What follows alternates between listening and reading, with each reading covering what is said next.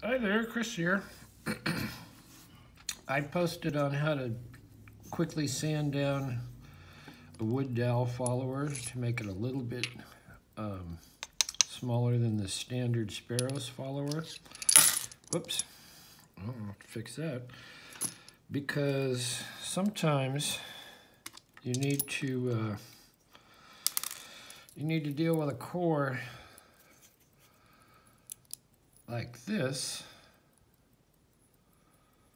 which has, when you first start here, it's about fine for this follower, but when you get to here, when you get to this larger part, you uh, you can't get that through with a shim.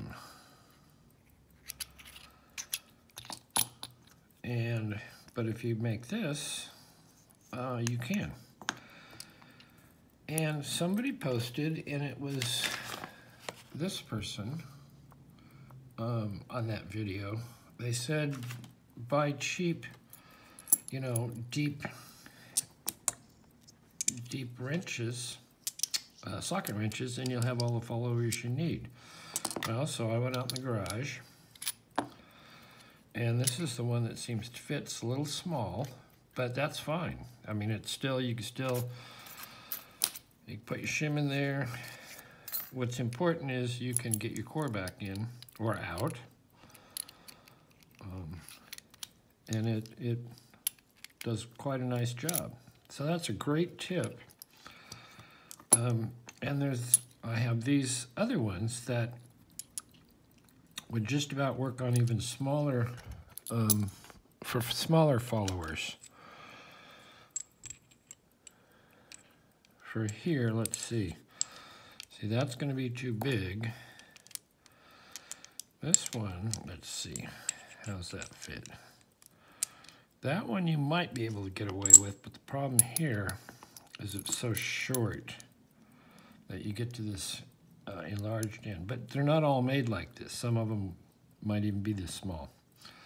So depending on the, the kit, you want to look for that so that they're all the same uh, diameter all the way down. So I thought that was a great tip. And uh, as you can see, it does work. And you can get your, your core in and out. Anyway, um, let's see. Lilrican, Lilrican, uh, 1971. Thank you for that tip. Um, and if you can just walk out in the garage and you have some of these, it's even faster than uh, quickly sanding one of these down. Anyway, thanks for watching. Just another little update on that this uh, follower subject. See you next time.